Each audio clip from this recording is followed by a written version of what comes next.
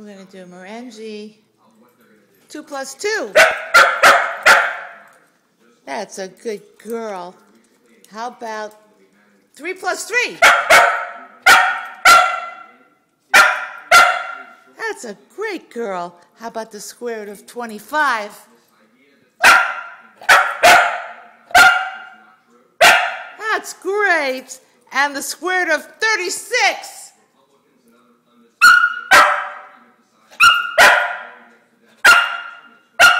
That's a wonderful girl. Is that a smart dog or what? Thank you, honey. I love you so much.